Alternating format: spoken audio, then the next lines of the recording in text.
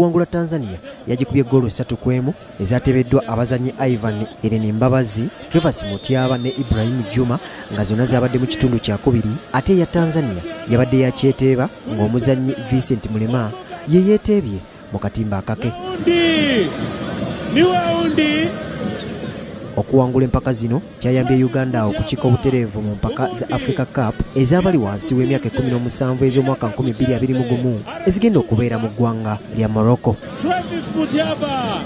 Ubundi uganda okutuuka ku fayinalo yakuba jibuti goolo emu ku ŋŋaŋa ate tanzania gye yakubye yamala kuwangula ethiopia goolo nnya ku ssatu nga zino zaali za kusimulagana penati oluvannyuma olw'okulemagana eggoolo emu ku emu mu ddakiika ekyenda bosi Fanya kazi sasa. bosi mtu bosi mtu akafanya nini pale kwaju pale Uvati yibonetse muri iki gice cya kabiri. Kona ya mbere. ttiimu ya uganda eyeddiza empaka zino ye yawangula omwaka oguwedde kyokka ng'omwaka guno omuzannyi mutyaba trevas yalondeddwa ng'omuzannyi asinze okukyanga akapiira.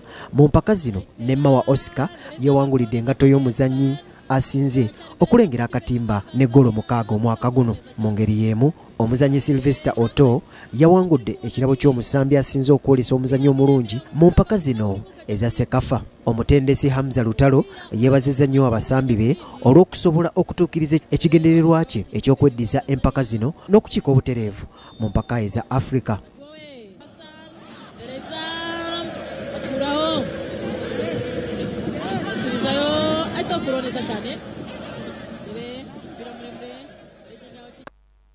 Mm, mwebale nnyo